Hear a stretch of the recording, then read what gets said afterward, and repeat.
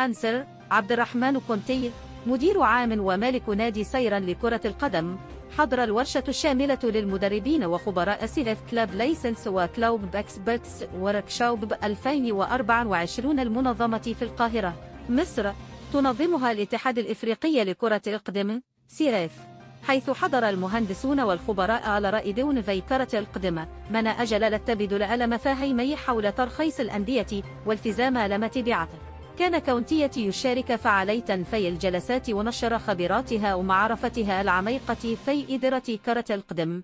في هذه الورشة كان كونتية يتفاعل مع زملائه المهندسون والخبراء على رأي دون ذيكرة القدم من أجل التبادل المفاهيمي حول ترخيص الأندية والتزام المتابعة. كان يبادل الأفضليات ويتعلم عن المتطلبات الأخيرة حول ترخيص النادي وتطويرات التشريعات. وقد ساعده هذا الخبرة على تطوير مهاراته في إدارة النادي وتعزيز التزام النادي السيرة للكرة القدم في المطابقة بالمعايير الدولية.